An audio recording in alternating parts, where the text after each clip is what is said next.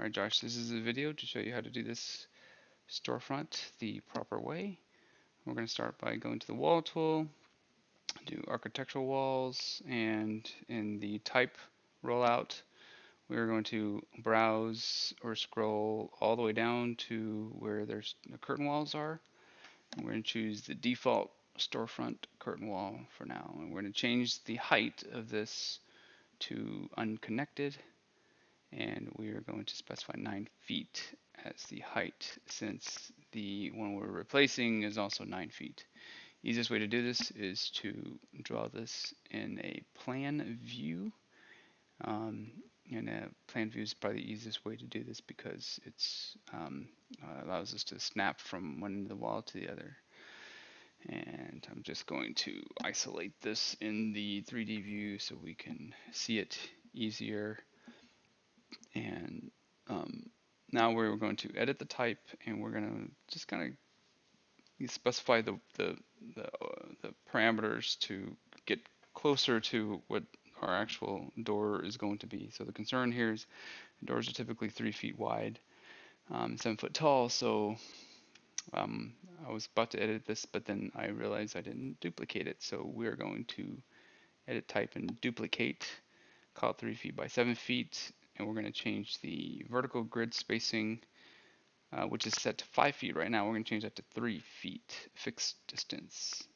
Um, a little confusing because vertical grids are running in this direction, so actually we're specifying the horizontal distance here.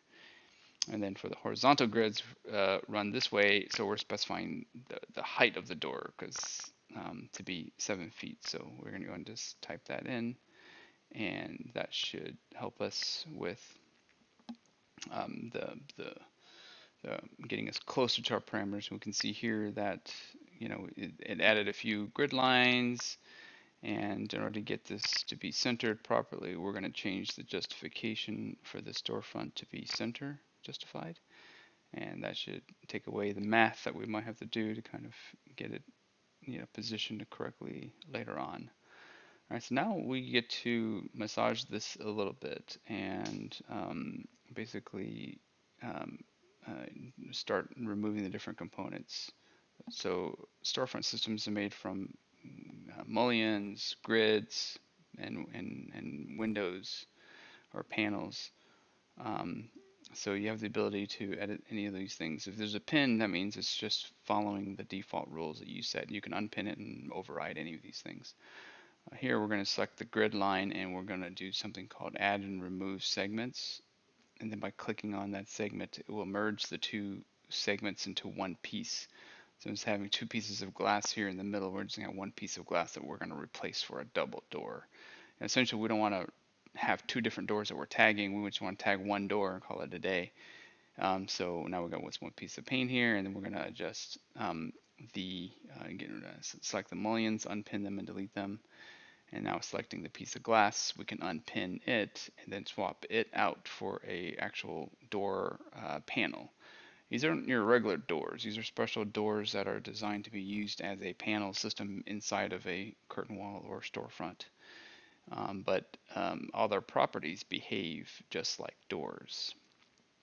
Um, we can see here that um, uh, the door is actually taking the shape of whatever the, this container is. And in this case, we were close to three feet, but not quite because of the mullions taking up some space. We need to adjust the mullions. And, and instead of moving the grids around, um, I'd rather do something called um, create a new grid system or create a new curtain wall system called manual. That allows us to um, specify the vertical and horizontal grid distance to be um, um, uh, basically none. And when we do this, it's going to prompt us if we want to delete the old grid lines. So we're going to say no. Um, uh, but this will allow us basically unpin it for us, and then we can now move them freely.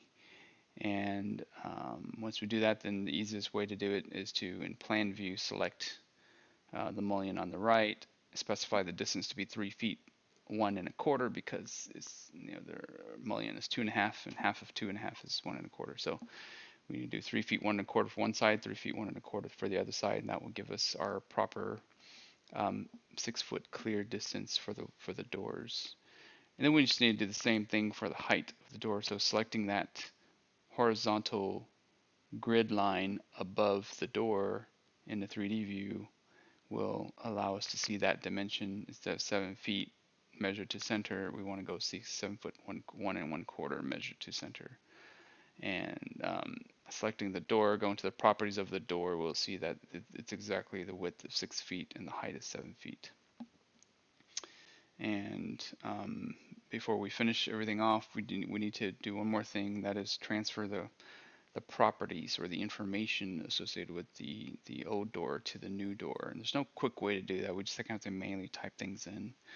Um, so I'm going to select the old door and get the properties like the, the mark number and um, the assembly type and frame types and things like that and just kind of manually um, um enter those into the other door. You can also do this from the schedule view as well, but um, I just want to show you that, that, those properties are actually inherent in the door, and when you when you, you, you enter those properties, it will translate over. So just manual process of transferring that stuff over. Once you're done, then it's just a matter of just deleting the old door, and then um, and then um, I'm using the align tool to align this curtain wall system into the other wall and it will it will do the cutout and everything else for us. Um, and keep in mind this door is not um, you can select it as its as, as its own entity, but it's actually a part of the system. So when we when we move grid lines around or whatever um, in the system, that door will resize appropriately or accordingly. And so that's the uh, the, the gist of it here. Um, just going to finish entering those those values, and then we will. Know, I'm going to go check the schedule to make sure that this 10 this door 101 is here, and uh, everything is good. All right. Hopefully this will be useful to you. I'll see you later.